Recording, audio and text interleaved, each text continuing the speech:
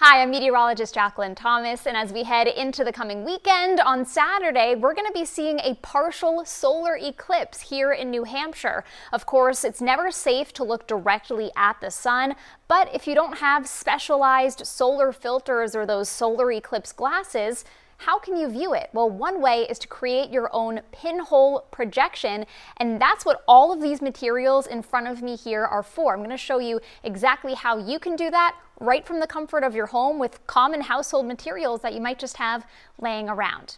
So some of the things that you're going to need include some tape, some tin foil, a pair of scissors, some white paper, a piece of cardstock or some stiffer cardboard, or even just a cardboard box and any kind of cereal box will work. And then also, of course, a pin to actually poke the hole that will help to filter the sun's light. So I've gone ahead and gotten started here. One of the simplest ways that you can do this is by cutting a hole about an inch or so in size into a stiff piece of cardboard or cardstock, something that is opaque that the sun's light isn't going to go through. You cut a hole and then you want to have a piece of tin foil. I've already cut it down to size. And you're going to tape the tin foil over the hole on that piece of cardboard or cardstock or whatever material that you're using here. So we'll go ahead and just tape this so that it stays in place. And you want to make sure that it's sealed all around so that you don't have any edges where the light could also be sneaking through. And any kind of tape will work for this too. So once you have your tin foil taped like this over the hole that you cut into your cardboard or cardstock, you take your pin and you're going to poke a hole right in the center. Make sure that it's nice and rounded. The hole doesn't need to be very big, and you can use a thumbtack or anything sharp to help create that hole. And it's called a pinhole projection for a reason, because all you need is that one little pinhole. So all you really need too is to hold this outside and what you're going to do is angle it back towards where the sun is coming from and you want a piece of white paper or you could even just project it onto, you know, a lighter sidewalk or area of the ground. But white paper works pretty well. Think of, you know, a projection screen, right? And this is going to help bring those sun's rays right through that hole onto the surface and you'll be able to see the shadow of the moon covering the sun during the partial eclipse based on that. And we use the tinfoil because it's going to help focus the sun's rays through this one hole as opposed to kind of being more dispersed across the entire uh, surface and that just helps create a clearer picture for that projection. So that's the simple way to make one of these. All you need. I'll put that aside. You can also make a projection in a box. This is just an old oatmeal box that I used. And what you want to do is put a piece of white paper on the inside, like I've done here, because that's where you're going to be projecting the image onto. And the white creates a good, easy surface to see that projection. You also are going to need your scissors again, because you're going to need to cut a couple of holes in the box. First, you're going to need to cut a hole for the tin foil to go on, like I did in that other piece of cardboard or cardstock. And you want to cut a hole about an inch in size, so that way there's enough space for the tin foil to really get the light to focus here.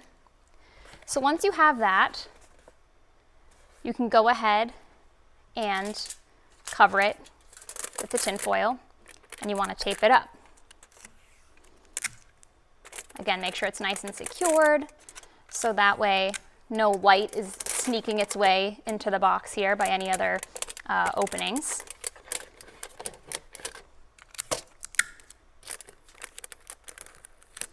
There we go. And you want to make sure that the box is closed, of course, as well. Try to get it flat if you can, and you're going to poke your pinhole right into the center of that tinfoil. Now, you're also going to need to poke another hole in this box for you to look inside the box itself.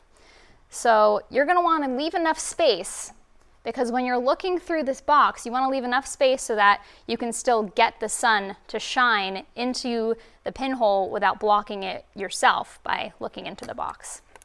So we're going to cut a hole over here. And this doesn't need to be very large, just big enough for you to hold your eye up to it and be able to see inside the box because that's where you're going to view the projection from. So we'll just cut an opening. And you can use a longer box. In fact, the longer the box, the better. You'll actually get a bigger image that way. But any kind of cereal box or shoe box or anything that you may have lying around at home will work. And I'm just going to tape the box closed here on this side just to make sure that it's nice and secure. So now we have something that looks like this. You have the tin foil with the pinhole through it, and then another hole that we cut over here for viewing. It's very important to keep in mind that you are not looking through the pinhole itself. So if I bring back this that we made, you're not going to be looking through this like this at the sun. Do not do that. It is a projection. The sun is going to be shining through this and you're looking at what's coming out of that pinhole onto the surface. You're watching for that actual projection. So when you have your box made, you're going to actually be standing, if the sun is behind you over here, the sun's going to be to your back when you stand with this. And you're going to want to make sure you angle the box so that the pinhole is facing where the sun is coming in from. And you're going to look into the box like this and you'll be able to see the projection through that hole into the box on that white piece of paper that we put inside. It'll be small, but you'll be able to see very clearly the circle of the pinhole where the sun's light is coming in from and the little shadow that's going to be carved out by the moon covering the sun and therefore you'll be able to see the eclipse.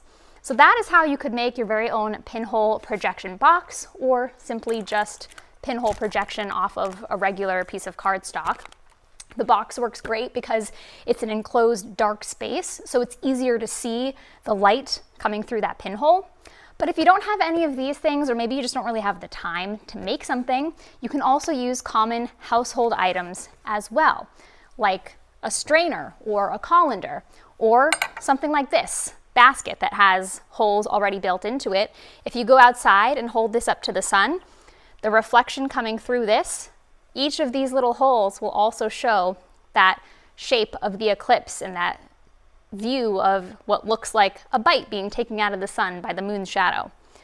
You can also use something like this, a spoon that has holes in it. You can hold it up and watch the reflection come through there as well. So anything at home that you find like this would work, but if you want to do a fun activity, that's something you can try in order to view the sun safely because again you never want to look directly at the sun especially uh, without those special you know filtered glasses the solar eclipse glasses. And this is a good practice too ahead of the total solar eclipse that we're expecting as we head into next spring in April. So this is a good uh, good time to get ready now for when that comes around because that'll be a fun one to try to see as well. So this is just one way that you can view the eclipse safely from the comfort of your own home or just using materials that you may have lying around.